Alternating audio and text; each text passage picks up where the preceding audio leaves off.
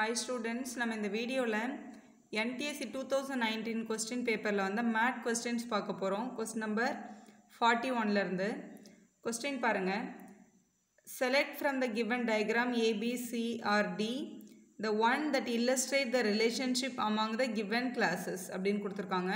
அதாவது இங்கே கீழே கொடுத்துருக்க கிளாஸஸ் அதாவது பேர்ட்ஸ் டைகர் பீகாக் அப்படின்னு ஒரு கிளாஸ் இருக்குது ஸோ இதுக்கு வந்து இதில் எந்த டயக்ராம் வந்து சூட் ஆகும் அப்படின்றத நம்ம கண்டுபிடிக்கணும். அதான் question so birds tigers peacock அப்படின்னு இருக்குது நல்லா யோசிச்சு பாருங்கள் பீகாக்ஸ் வந்து பேர்ட்ஸ் தான் இல்லையா? ஸோ இதுக்கு நம்ம டயக்ராம் வரையணும் அப்படின்னா ஃபஸ்ட்டு பேர்ட்ஸ் அப்படின்ற சர்க்கிளுக்குள்ளே பேர்ட்ஸ்ன்ற சர்க்கிளுக்குள்ளே தான் யார் இருப்பாங்கன்னா பீகாக் இருக்கும். ஆனால் டைகருக்கும் பேர்ட்ஸுக்கும் எந்த சம்மந்தமும் இல்லை. அது தனியாக தான் இருக்கும். இது வந்து டைகர் ஸோ இந்த மாதிரி சர்க்கிள் எங்கே இருக்குன்னு பாருங்கள் அதாவது ஒரு சர்க்கிள்குள்ளே இன்னொரு சர்க்கிள் ஒரு சர்க்கிள் தனியாக இருக்கணும். அந்த மாதிரி ஆப்ஷன் பி இருக்குது பாருங்க இங்கே. ஒரு சர்க்கிள்குள்ளே இன்னொரு சர்க்கிள் ஒரு சர்க்கிள் மட்டும் தனியாக இருக்கிறது. அப்போ பின்றது தான் இதோட கரெக்ட் ஆன்சர் ஸோ பி இங்கே இருக்குது இது. இப்போ நிறைய பேர் இதில் பண்ணுற மிஸ்டேக் என்னென்னா இது செகண்டா அப்போ இங்கே செகண்டுன்னு எடுத்து எழுதுறது. அது ஒரு நிறைய பேர் மிஸ்டேக் பண்ணியிருக்காங்க. செகண்ட் ஆப்ஷன் நீங்கள் செகண்டுன்னு போடுறது அப்படி போடாதீங்க. பி எங்கே இருக்குன்னு கரெக்டாக பார்த்து அதை மார்க் பண்ணுங்கள் அதுதான் கரெக்ட் ஆன்சர் நெக்ஸ்ட் ப்ராப்ளம் பார்க்கலாம். இப்போ கொஸ்டின் நம்பர் ஃபார்ட்டி டூ பாருங்கள் லாங்குவேஜஸ் தமிழ் தெலுங்கு அப்படின்னு இருக்குது ஸோ லேங் இது ரெண்டுமே லாங்குவேஜஸ் தானே. லாங்குவேஜஸ்க்குள்ளே தமிழும் வரும் தெலுங்கும் வரும். அப்போ ஆக்சுவலாக இதோட டயக்ராம் நமக்கு எப்படி வரும் அப்படின்னா இங்கே பாருங்கள் லாங்குவேஜஸ் அப்படின்ற ஒரு பெரிய சர்க்கிளுக்குள்ளே இது வந்து லாங்குவேஜஸ் இதுக்குள்ளே தமிழ் லாங்குவேஜும் வரும் தெலுங்கு லாங்குவேஜும் வரும். இந்த மாதிரி டயக்ராம் எங்கே இருக்குதுன்னு பார்க்கலாம். இது தமிழ் இது தெலுங்கு. இந்த மாதிரி டயக்ராமே அங்கே இல்லை பாருங்களேன். ஒரே சர்க்கிளுக்குள்ளே ரெண்டு சர்க்கிள் வர்ற மாதிரி டயக்ராமே அங்கே இல்லை. ஸோ இதில் எந்த ஆப்ஷனுமே கரெக்டு கிடையாது. அப்போ நன் ஆஃப் திஸ்ன்னு எழுதணும். நன் ஆஃப் திஸ்ன்னு எழுதுறதுக்கு யோசிக்காதீங்க. கண்டிப்பாக அந்த மாதிரி ஆப்ஷன் வர்றதுக்கு நிறைய சான்சஸ் இருக்குது இந்த மாதிரி சர்க்கிள் இல்லை அப்போ அது நன் ஆஃப் திஸ் தான். நெக்ஸ்ட்டு பார்க்கலாம். இப்போ ஃபார்ட்டி த்ரீ பாருங்கள் football fans cricket fans kabaddi fans அப்படின்னு இப்போ மூணு டிஃப்ரெண்ட் கைண்ட்ஸ் ஆஃப் ஃபேன்ஸ் இருக்காங்க. அதுக்காக ஃபுட்பால் பார்க்குறவங்க யாருமே கிரிக்கெட் பார்க்க மாட்டாங்கன்னு அவசியம் கிடையாது. கபடி பார்க்குறவங்க யாருமே வந்து ஃபுட்பாலோ கிரிக்கெட்டோ பார்ப்பாங்க. பார்க்காம இருக்க மாட்டாங்கன்னு சொல்ல முடியாதுல்ல. ஸோ இது ஃபுட்பால் ஃபேன்ஸ் இது வந்து கபடி ஃபேன்ஸ் இது வந்து நான் கிரிக்கெட் ஃபேன்ஸ்னு எடுத்துக்கிறேன்.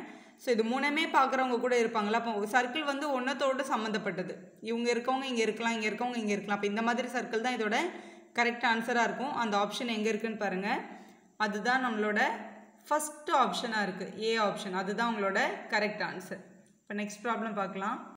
ஸோ ஏன்ற டயக்ராமோட ஆப்ஷன் நீங்கள் எங்கே இருக்குன்னு பாருங்கள் ஏன்ற டயக்ராமோட ஆப்ஷன் நீங்கள் த்ரீயில் இருக்குது அப்போ தேர்ட் தான் உங்களோட கரெக்ட் ஆப்ஷன் இப்போ நெக்ஸ்ட் ப்ராப்ளம் பார்க்கலாம்.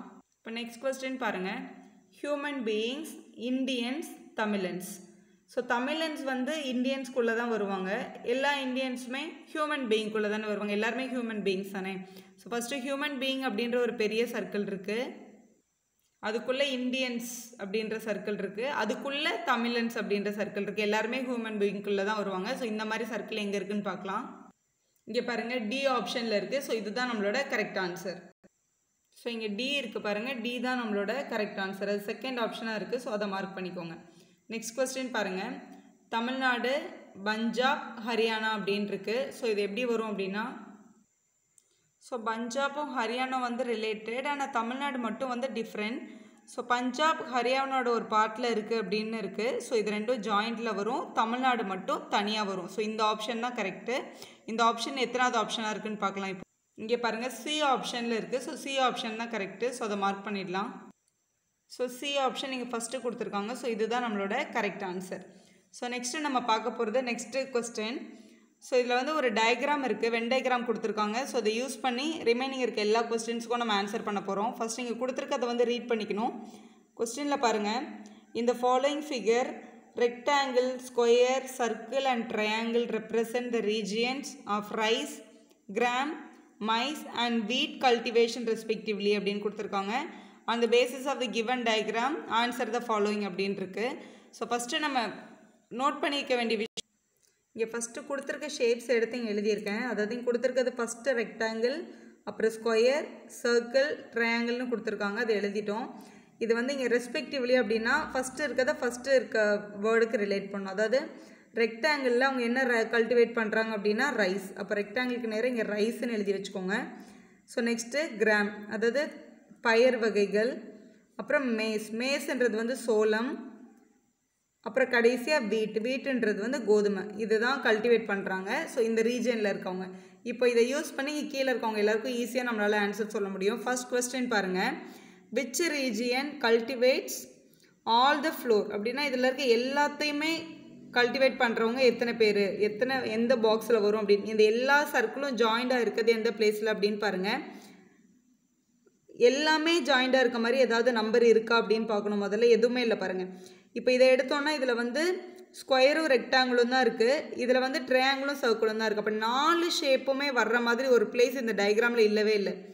அதாவது ட்ரையாங்கிளும் வரணும் ஸ்கொயரும் வரணும். ஸ்கொ ட்ரையாங்கிளுக்கும் ஸ்கொயருக்கும் எந்த கனெக்ஷனும் இல்லை பாருங்கள் அப்போ இந்த நாலுமே கல்டிவேட் பண்ணுறவங்க யாராவது இருக்காங்களான்னா யாருமே இல்லை. அப்போ நன் அப்படின்றது தான் உங்களோட கரெக்ட் ஆன்சர் நெக்ஸ்ட் கொஸ்டின் பார்க்கலாம்.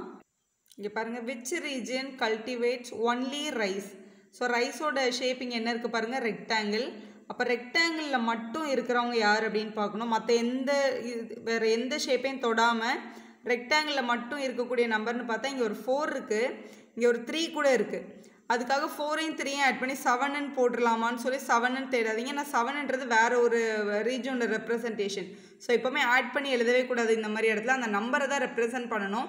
இப்போ வந்து ஃபோரு த்ரீ இருக்குது இதில் மேக்ஸிமம் ரைஸ் போடுற இடம் எது அப்படின்னா அதாவது உங்களோட ரெக்டாங்கிளில் அதிகமான பார்ட்டை வந்து கவர் பண்ணியிருக்க நம்பர் என்னன்னு பாருங்கள் ஃபோர் தான். அப்போ ஃபோர் தான் உங்களோட கரெக்ட் ஆன்சர் ஃபோர்ன்ற நம்பர் தான் ரைஸ் ஒன்லியே ரெப்ரசன்ட் பண்ணியிருக்கு அப்படின்னு கன்ஃபார்மாக சொல்ல முடியும். ஸோ ஃபோர் தான் உங்களோட கரெக்ட் ஆன்சர் நெக்ஸ்ட் கொஸ்டின் பார்க்கலாம். இப்போ நெக்ஸ்ட்டு ஃபார்ட்டி எயித்து கொஸ்டின் பாருங்கள் ஃபார்ட்டி எயித்து கொஸ்டினில் which region cultivates wheat and maize அப்படின்னு கேட்டிருக்காங்க. அதாவது கோதுமையும் சோளமும். வீட்டும் மேஸும்னா என்ன ரெண்டு ஷேப்புன்னு பாருங்கள் சர்க்கிளும் ட்ரையாங்கிளும் சர்க்கிளும் ட்ரையாங்கிளும் சேர்ந்து எந்த பிளேஸில் வருது அப்படின்னு பார்க்கணும். ஸோ இது ட்ரையாங்கிள் இது உங்களோட சர்க்கிள் ரெண்டும் சேர்ந்து வர்ற இடத்துல என்ன நம்பர் வந்திருக்கீங்க? ஃபைவ் வந்திருக்கு. அப்போ ஃபைவ் தான் நம்மளோட கரெக்ட் ஆன்சர் வீட்டையும் கல்டிவேட் பண்ணி மேஸும் கல்வேட் பண்ணுறவங்க ஃபைவ் தான். ஸோ ஃபைவ் நீங்கள் எழுதிட்டா போதும்.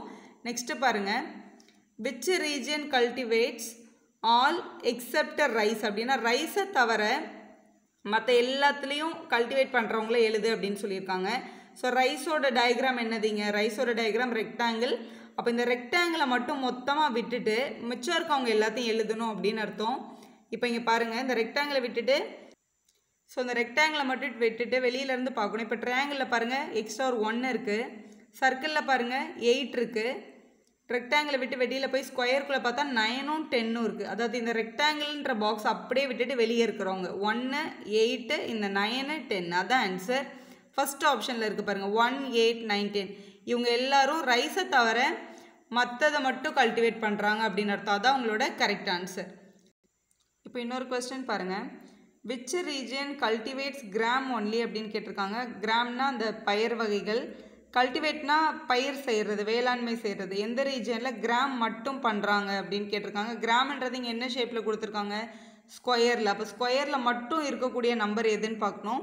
இதுதான் ஸ்கொயர் ஷேப் ஸ்கொயர் ஷேப்பில் மட்டும் இருக்கிற நம்பர் இந்த டென் மட்டும் தான் இந்த நைன் இருக்குன்னு அந்த நைன் சர்க்கிள்லையும் இருக்குது அது எடுக்க முடியாது. ஸோ வெறும் ஸ்கொயரில் மட்டும் இருக்கிற நம்பர் இந்த டென் மட்டும் தான் அப்போ இந்த டென் தான் உங்களோட கரெக்ட் ஆன்சர் ஸோ இதை இப்படி தான் ஆன்சர் பண்ணோம். ரொம்ப ஈஸியாக அஞ்சு மார்க் இதிலேருந்து நம்ம வாங்கிடலாம். இப்போ நெக்ஸ்ட்டு ப்ராப்ளம் பாருங்கள் டேரக்ஷன்ஸ் கொடுத்துருக்காங்க. அதாவது ஒரு சில ஸ்டேட்மெண்ட்ஸ் கொடுத்துட்டு அதுலேருந்து ரெண்டு கொஸ்டினுக்கு ஆன்சர் பண்ண சொல்லியிருக்காங்க. ஸோ எப்போல்லாம் ப்ளஸ் சிம்பிள் யூஸ் பண்ணியிருக்காங்களோ ஏ ப்ளஸ் பி அப்படின்னா A is a father of B அப்படின்றது அதோட அர்த்தம். ஏ மைனஸ் பி அப்படின்னு சொன்னாங்கன்னா ஏ இஸ் ஒய்ஃப் ஆஃப் பின்னு அர்த்தம். எப்போல்லாம் மல்டிப்ளிகேஷன் சிம்பிள் யூஸ் பண்ணுறாங்களோ அதுக்கு மீனிங் வந்து பிரதர் அதாவது ஃபஸ்ட்டு இருக்கவங்க வந்து brother of the second alphabet இது வெறும் ஏ பிக்குன்ட்டு இல்லை. இப்போ சியும் டியும் கொடுத்தாங்கன்னா C is a brother of டின்னு எழுதணும். இந்த மல்டிப்ளிகேஷனோட அர்த்தம் பிரதர் அதே மாதிரி எப்போல்லாம் டிவிஷன் யூஸ் பண்ணுறாங்களோ அப்போது ஃபஸ்ட்டு இருக்கவங்க டாட்டர் ஆஃப் த இந்த செகண்ட் ஆல்ஃபபெட் அப்படின்றது மீனிங் ஸோ இந்த மீனிங் வச்சுட்டு கீழே இருக்கிறதுக்கு ஆன்சர் பண்ண சொல்கிறாங்க ஸோ ஃபஸ்ட்டு இங்கே பாருங்களேன். ஏ மைனஸ் பின்னு இருக்கா? ஏ மைனஸ் பி அப்படின்னா என்ன அர்த்தம்? A மைனஸ்னா A is a wife of பின்னு அர்த்தம். அப்போ ஃபஸ்ட்டு நம்ம இங்கே கொஸ்டினில் ஃபிஃப்டி ஒனில் ஸோ ஏயும் பியும் ஃபஸ்ட்டு இங்கே ஹஸ்பண்ட் அண்ட் ஒய்ஃப் ஸோ ஒரே தலைமுறை நம்ம இது ஆல்ரெடி படிச்சிருக்கோம். இப்படி எழுதிக்கோங்க. இது ஆல்ரெடி நம்ம வீடியோ கூட போட்டிருக்கோம். பிளட் ரிலேஷனில் அதை பார்த்தா உங்களுக்கு இந்த கிராஃப் போடுறது ஈஸியாக புரியும். ஸோ ஏயும் பியும் ஹஸ்பண்ட் அண்ட் ஒய்ஃப் இந்த மாதிரி ஒரே லைனில் எழுதிக்கோங்க. அதுக்கு அடுத்து பாருங்கள் பி ப்ளஸ் சி இருக்குது பியும் சியும் ப்ளஸ்ஸில் இருக்குது ப்ளஸ்னா இங்கே என்ன அர்த்தம்? A is a father of பின்னு அர்த்தம். அதாவது ஃபஸ்ட்டு இருக்க ஆல்ஃபாபெட் வந்து ஃபாதர் ஆஃப் த செகண்ட் ஆல்ஃபாபெட்னு அர்த்தம். அப்போ நம்ம பி ப்ளஸ் சிக்கு என்ன அர்த்தம்? B is a father of C அப்படின்னு அர்த்தம். பின்றவங்க வந்து சியோட ஃபாதர் அப்போ பியோட பையன் தான் சி அப்படின்னு கொடுத்துருக்காங்க. அப்போ இதுதான் இதோட டயக்ராம் போட்டுட்டு இப்போ கீழே இருக்க கொஸ்டின் பாருங்கள் அப்போ A is a mother of சியா ஆமாம் கண்டிப்பாக சி வந்து பியோட பையனா? கண்டிப்பாக ஏயோட பையன் தான் இவங்க ரெண்டு பேரும் ஹஸ்பண்ட் அண்ட் ஒய்ஃப்ன்றதுனால ஃபஸ்ட் ஆப்ஷனே கரெக்டான ஆப்ஷன் தான். மற்றது எல்லாமே ராங்காக தான் இருக்குது சி இஸ் அ மதரான்னு கேட்டிருக்காங்க. பி இஸ் அ மதரான்னு கேட்டிருக்காங்க. சி இஸ் அ மதரான்னு கேட்டிருக்காங்க. எல்லாமே ராங் ஃபஸ்ட் ஆப்ஷன் தான் கரெக்டாக இருக்குது நெக்ஸ்ட் கொஸ்டின் போகலாம் இப்போ மல்டிப்ளிகேஷனுக்கு நமக்கு பிரதர்னு கொடுத்துருக்காங்க. டிவிஷனுக்கு டாட்டர்னு கொடுத்துருக்காங்க. இப்போ கொடுத்துருக்க கொஸ்டின் பாருங்கள் ஏ இன்ட்டு பின்னு கொடுத்துருக்காங்க ஃபஸ்ட்டு அப்போ A is a brother of B அப்போ ஏயும் பியும் பிரதர்ஸ் அப்போ இங்கே ஏபி இவங்க ரெண்டு பேரும் பிரதர்ஸ் அவங்க ஒரே தலைமுறை சேர்ந்தவங்க ஸோ இப்படி எழுதிக்கலாம் நம்ம. ஸோ நெக்ஸ்ட்டு டிவிஷன் வரும்போது டாட்டர்னு யூஸ் பண்ணணும். அப்போ இங்கே என்ன அர்த்தம்னா B is a daughter of C B is a daughter of C அப்படின்னு அர்த்தம். அப்போ சியோட டாட்டர் தான் பி அப்போ சி வந்து அவங்களோட மதர் அவங்க முன்னாடி தலைமுறைக்கு போயிடுவாங்க. அப்போ முன்ன மேலே எழுதிடணும். ஸோ இதுதான் ரிலேஷன் இவங்க ரெண்டு பேரும் பிரதர்னு கொஸ்டினில் கொடுத்துருக்காங்க. இவங்க இவங்களோட பேரண்ட்டுன்னு கொடுத்துருக்காங்க. இப்போ ஆப்ஷன் பாருங்கள் இதில் எது இருக்கிறதுக்கான சான்சஸ் இருக்குன்ட்டு. C is a mother of பியான்னு கேட்டிருக்காங்க. C is a mother of பின்றது நம்மளோட கரெக்ட் ஆப்ஷன் தான். ஸோ நெக்ஸ்ட்டு பாருங்களேன். பி இஸ் அ மதரான்னு கேட்டிருக்காங்க. கண்டிப்பாக இருக்க முடியாது.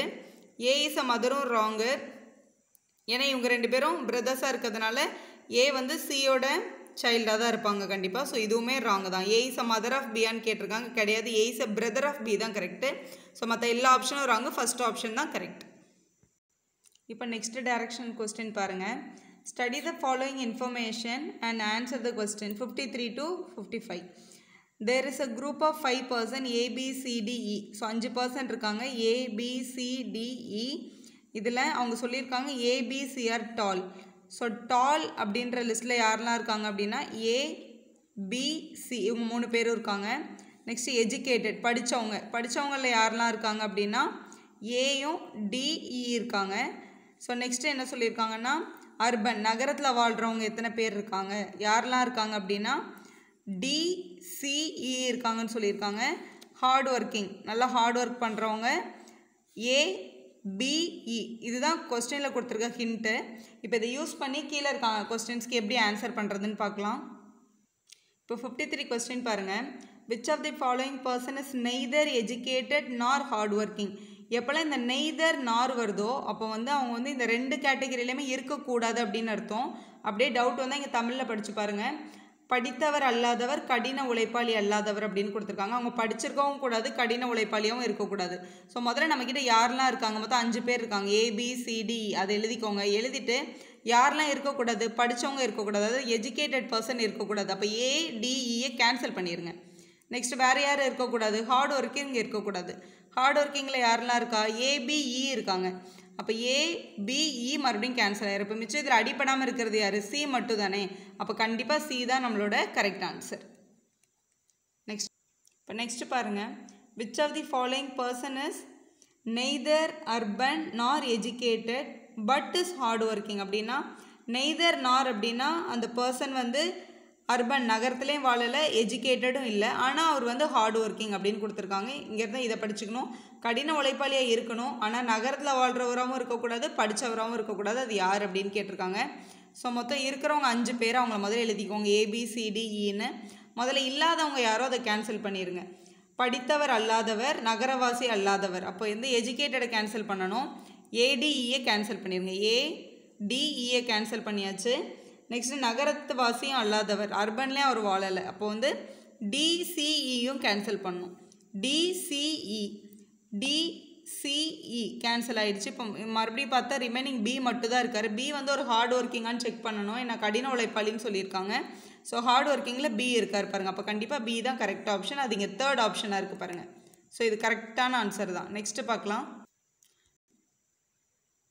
உயரமானவர்கள் அல்லது கடின உழைப்பாளிகள் அப்படின்னு கொடுத்துருக்காங்க. ஸோ மொத்தம் வந்து நம்மக்கிட்ட அஞ்சு இருக்குது இதில் வந்து எதெல்லாம் எடுக்கணும் அப்படின்னா உயரமானவர்களையும் எடுக்கணும் உழைப்பாளிகளும். உயரமானவர்கள் உழைப்பாளிகள். இப்போ உயரமானவர்களில் ஏபிசி இவங்க மூணு பேரும் உயரமானவர்களில் இருக்காங்க. கடின உழைப்பாளிகளில் ஹார்ட் ஒர்க்கிங்கில் ஏபிஇ e இருக்காங்க. ஏபி அப்புறம் இந்த இ இருக்காங்க. ஸோ இதில் வந்து ஜாயிண்ட் ஆகாதது யாருன்னு பார்த்தா இந்த டி மட்டும் தான் ஸோ இவரை தவிர மற்றவங்க எல்லாருமே உயரமானவர்களில் இருக்காங்க. அப்படி இல்லைன்னா கடின உழைப்பாளிகளாக இருக்காங்க. அப்போ ஏபிசிஇ e அப்படின்றது தான் கரெக்ட் ஆப்ஷன் அதுதான் உங்களோட ஃபஸ்ட் ஆப்ஷனாக இருக்குது பாருங்கள் ஏபிசி இவங்க வந்து கடின உழைப்பாளிகள் லிஸ்ட்டில் இருப்பாங்க. இல்லைனா டாலுன்ற லிஸ்ட்டில் இருப்பாங்க. அதுதான் உங்களோட கரெக்ட் ஆன்சர் இப்போ நெக்ஸ்ட் ப்ராப்ளம் பார்க்கலாம். நெக்ஸ்ட் கொஸ்டின் பாருங்கள் how many numbers from one to hundred are there each of which is exactly divisible by five but also contain six as a digit in it அப்படின்னு கொடுத்துருக்கு. அதாவது ஒன்லருந்து நூறு வரைக்கும் இருக்கிற நம்பரில் எதெல்லாம் ஆறாவது ஆறால் வகுப்படும் அப்படின்னா ஆறாவது டேபிள்ஸில் வரும் அப்படின்னு அர்த்தம். அதில் ஆறுன்றது ஒரு டிஜிட்டாக இருக்கணும். ஆறுன்றது ஒரு இலக்கமாக இருக்கணும். அந்த மாதிரி எத்தனை நம்பர் இருக்குது அப்படின்னு கேட்குறாங்க இதுக்கு வேறு எந்த ரூலும் கிடையாது. ஃபாஸ்ட்டாக எழுதிருங்க. சிக்ஸ் டேபிளில் இப்போ ஆறாம் வாய்ப்பாடு எழுதிடலாம் ஓராறு ஆறு பன்னெண்டு பதினெட்டு ஸோ இந்த மாதிரி எழுதிக்கோங்க ஆறாம் வாய்ப்பாடை. அதாவது நூறுக்கு முன்னாடி வர்ற வரைக்கும் எழுதிக்கோங்க. சிக்ஸ் டேபிள்ஸ் எழுதிட்டு இதில் எதுலலாம் சிக்ஸ் வருதுன்னு பாருங்கள் இந்த நம்பரில் சிக்ஸ் இருக்குது தேர்ட்டி சிக்ஸில் ஒரு நம்பர் சிக்ஸ்ன்னு இருக்குது சிக்ஸ்டியில் சிக்ஸ் இருக்குது சிக்ஸ்டி சிக்ஸில் அப்புறம் நைன்டி சிக்ஸில் இந்த அஞ்சு நம்பரில் மட்டும்தான் சிக்ஸுன்றது ஒரு டிஜிட்டாக இருக்குது அதுதான் உங்களுக்கு கொஸ்டினில் கேட்டிருக்காங்க. எத்தனை நம்பரில் சிக்ஸ் ஒரு டிஜிட்டாக வருது அப்படின்னு கேட்டிருக்காங்க. அப்போ அஞ்சு நம்பரில் வருது. அஞ்சுன்றது தான் உங்களோட correct answer five boys P Q R S and T took part in a race so அவங்க அஞ்சு பேரும் ஒரு ரன்னிங் ரேஸ் எடுத்துக்கிறாங்க. ஆர் ஃபினிஷ்ட் பிஃபோர் டி டீக்கு முன்னாடியே வந்து ஆர் வந்து இந்த ரேஸை வந்து கம்ப்ளீட் பண்ணிட்டார். இப்போ இதுதான் அந்த ரேஸோட ட்ராக்கிங் இதுதான் அவங்களோட ஃபினிஷிங் பாயிண்ட்டுன்னு வச்சுக்கோங்களேன். இப்போ ஆறுன்ற பர்சன் வந்து டீக்கு முன்னாடியே போயிட்டார் அந்த ஃபினிஷிங் லைனுக்கு அதுக்கு அடுத்து பாருங்கள் before T but behind S ஆனால் எஸ்ஸுக்கு பின்னாடி போனார் அப்படின்னு சொல்லியிருக்காங்க. அப்போ இங்கே முதல்ல எஸ் போட்டுரும். எஸ்ஸுக்கு பின்னாடி தான் ஆறு போனார். அப்புறம் P finished before Q but behind T டீக்கு பின்னாடி வந்தார். யார்? பி வந்து டீக்கு பின்னாடி வந்தார். ஆனால் யாருக்கு முன்னாடி அந்த பந்தயத்தை முடிச்சதாக சொல்லியிருக்காங்கன்னு பாருங்கள் பி ஃபினிஷ்டு பிஃபோர் கியூ கியூக்கு முன்னாடியே வந்து பி வந்து அந்த ரேஸை முடிச்சிட்டார் அப்படின்னு சொல்கிறாங்க அப்போ இந்த ஆர்டர் தான் கொடுத்துருக்காங்க. இப்போ இதை யூஸ் பண்ணி கீழே இருக்க ரெண்டு கொஸ்டினுக்கு ஆன்சர் பண்ணிடலாம். இப்போ கொஸ்டின் நம்பர் ஃபிஃப்டி செவன் பாருங்கள் ஹூ ஓன் த ரேஸ் யார் இதில் ஜெயிச்சதுன்னு பாருங்கள் ஃபஸ்ட்டு போய் ஜாயின் பண்ணியிருக்கிறது எஸ் தான். அப்போ எஸ் தான் இந்த ரேஸை வந்து ஃபஸ்ட்டு கம்ப்ளீட் பண்ணார். எஸ் தான் வின்னர் ஃபஸ்ட் அதான் உங்களோட கரெக்ட் ஆன்சர் நெக்ஸ்ட் கொஸ்டின் பார்க்கலாம். Who get the last place அப்படின்னு கேட்டிருக்காங்க. இங்கே லாஸ்ட்டாக பந்தயத்துக்கு வந்தவர் வந்து கியூ தான் கடைசியாக கம்ப்ளீட் பண்ணார். அப்போ இது உங்களோட கரெக்ட் ஆன்சர் வந்து கியூ தான். இப்போ நெக்ஸ்ட் டைரக்ஷன் பாருங்கள் arrange the given words in a meaningful sequence choose the most appropriate sequence from the given alternates அப்படின்னு கொடுத்துருக்காங்க. ஸோ இங்கே பாருங்கள் அப்பெண்டிக்ஸ் சாப்டர்ஸ் கண்டென்ட் இன்ட்ரடக்ஷன் அப்படின்ருக்கு. ஸோ நம்ம ஒரு கிளாஸை ஸ்டார்ட் பண்ணுறோம் ஸோ ஃபஸ்ட் நம்ம எதை ஸ்டார்ட் பண்ணுவோம்? கண்டிப்பாக நம்ம வந்து ஒரு இன்ட்ரடக்ஷனோட தான் ஸ்டார்ட் பண்ண முடியும். அதுக்கப்புறம் தான் அந்த சாப்டருக்குள்ளே போவோம் இல்லையா? ஸோ ஃபஸ்ட்டு இது எல்லாத்தையும் நீங்கள் பார்க்கணும் அப்படின்னு அவசியம் இல்லை. ஃபஸ்ட்டு வரப்போகிறது இன்ட்ரடக்ஷன்றது கன்ஃபார்மில் அப்போ ஃபஸ்ட்டு டி எந்த ஆப்ஷனில் வருதுன்னு பாருங்கள் ஃபஸ்ட்டு இங்கே டி வந்து இங்கே தேர்ட் ஆப்ஷனில் மட்டும் தான் வருது. அப்போ அதுதான் உங்களோட கண்டிப்பாக கரெக்ட் ஆன்சராக இருக்கும். மற்ற எல்லாத்தையும் பார்த்து டைம் வேஸ்ட் பண்ணவே தேவையில்லை. ஃபஸ்ட் ஆப்ஷன் இதான். வேறு எங்கேயுமே டி இல்லை. பாருங்கள் அடுத்து கண்டிப்பாக சாப்டர் வருது கண்டென்ட் வருதுல. ஸோ இது கண்டிப்பாக தேர்ட் ஆப்ஷன் தான் உங்களோட கரெக்ட் ஆப்ஷன் நெக்ஸ்ட்டு பார்க்கலாம். சிக்ஸ்டி எய்த்து கொஸ்டின் இங்கே வந்து ப்ரொடெக்ட் ரிலீஃப் ஃப்ளட் ரெயின் அப்படின்னு கொடுத்துருக்காங்க. ஸோ இங்கே ஃபஸ்ட்டு வந்து நமக்கு என்ன வரும்னா ரெயின் அதாவது ஃபஸ்ட்டு வந்து மழை வரும். அதுக்கப்புறம் வந்து ஃப்ளட் ஆகும். அதுக்கப்புறம் அந்த பாதுகாப்பு அளிப்பாங்க. அதுக்கப்புறம் நம்மளுக்கு வந்து ரிலீஃப் கிடைக்கும். ஸோ ஃபஸ்ட்டு வரப்போகிறது வந்து ரெயின் தான். அதுக்கப்புறம் தான் வந்து அது ஃப்ளட்டாக மாறுன்றது நமக்கு கிளியராக தெரியும். ஸோ ஃபஸ்ட்டு ரெயின் வரணும். ரெயின் வர்றதுக்கான ஆப்ஷன் எங்கே இருக்குது அப்படின்னு பாருங்கள் டி ஆப்ஷன் டி ஆப்ஷன் ஒரே ஒரு பிளேஸில் இங்கே மட்டும்தான் இருக்குது அப்போ கண்டிப்பாக இந்த ஃபோர்த்து தான் கரெக்டாக இருக்கும். ஸோ ரெயின் அதுக்கப்புறம் ஃப்ளட் அதுக்கப்புறம் ப்ரொடெக்ட் அதுக்கப்புறம் ரிலீஃப் ஸோ இந்த ஆர்டர் கரெக்டாக இருக்கும். ஒன்று கன்ஃபார்மாக கரெக்டுனாலே கண்டிப்பாக அதோட ஆர்டர் எல்லாமே கரெக்டாக தான் இருக்கும். தட்ஸ் ஆல் ஸ்டூடெண்ட்ஸ் ஸோ இதோட நெக்ஸ்ட் வீடியோ இதோட டிஸ்கிரிப்ஷன் பாக்ஸில் கொடுப்போம். அதை நீங்கள் பார்த்துக்கலாம். தேங்க்யூ ஃபார் வாட்சிங் like our video subscribe channel for more videos